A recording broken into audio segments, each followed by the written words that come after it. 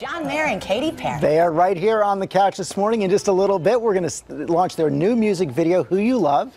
But first, I want to talk to them both, and I guess this is a first for the two of you. Never sat down for a TV interview together? Yeah. Yeah. we don't quite know exactly what kind of body language we're supposed to be exhibiting. Oh, at the and this couch is so comfortable, too. There's Well, you, no- you get too close, it's a little too touchy feely, and then you get too far away, they say, I don't see chemistry. and we're trying to figure out, which say maybe They'll just. see chemistry in the video. Oh, yes, right. Well, you guys, we definitely will see the chemistry in the video. And I want to talk about that. Now, how did it happen uh, exactly? You had been kicking around a song like this for a while. Yeah, I, I, I had this little chorus for years, and it was "You love who you love."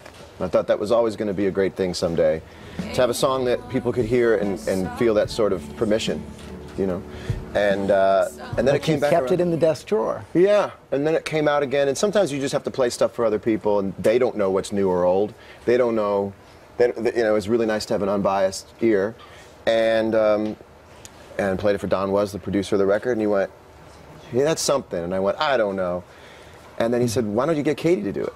And if the very first thought was, "You can't do that. We'll just get. I'll just get. You know." All, I mean, you know, uh, and, and, and then the more I thought about just the music part of it, it made perfect sense. Even if I didn't know Katy, it was it would have made perfect sense, you know. But because you did know her, It was Yeah. an easy phone call.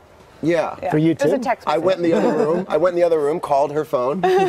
Um, yeah, and, and it, it, it, it was it was always for me. It had to be about, and it always really has been about the song.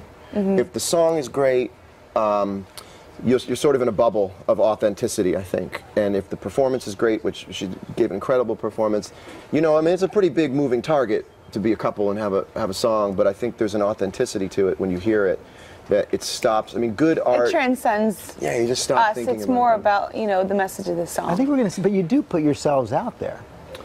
Well, we have to go at some point from the car to the front door.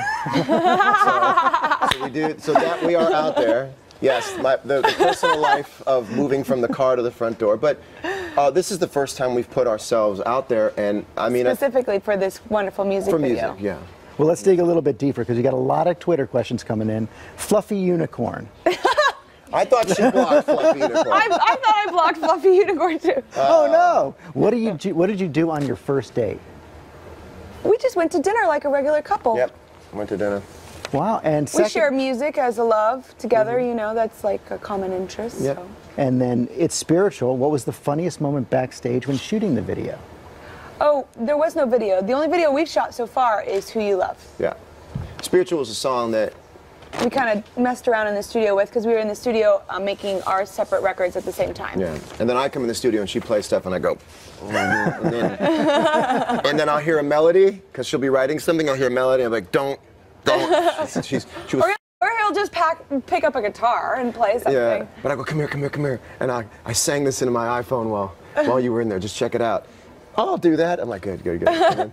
So So you're wrapping up your this leg of the U.S. tour tonight. Tonight, right? yeah. How's it been? First time back after the throat injury. it's been really great. Um, it wasn't like I woke up one day and I had the whole range of my voice back. Um, it has been like getting to. It's like your dad letting you use the car a little bit at a time. As it goes on, you have to show that you're responsible with it. And so for me, like I'm singing better and better each night, and it's really taught me to appreciate the voice as an instrument, not as something you can just keep doing whatever you want to. You know, And you've been doing something great with this tour as well. I know a lot of the proceeds have been going to veterans Yeah. suffering from PTSD, and you're about to get started as a UNICEF Goodwill Ambassador. Yeah. I kick off my tour in May, yeah. and then I'll be here in the States in summer. So you guys will have to plan some some, some get-togethers on Some the road. routing. yeah. Loved your Instagram coming in yesterday. You were really going to do GMA right. You promised to bring in your fancy pop Christmas popover We recipe. We actually slaved for hours this morning. well, we've seen it. It's in- right in here. All the kitchen. proceeds I right just here. said tune in to GMA. Katy and I are going to premiere our new video and watch our uh, watch us uh, give away our recipe for uh, the foolproof biggest Christmas popovers you've ever seen. Also, the just the widest you can go with an Instagram joke I think I've ever seen in the world. That is going deep and wide with the joke. Are they good? um, yeah, they're a little cold. I thought I made them warmer this morning, but They look pretty good. It would have been a great segment if we were cooking.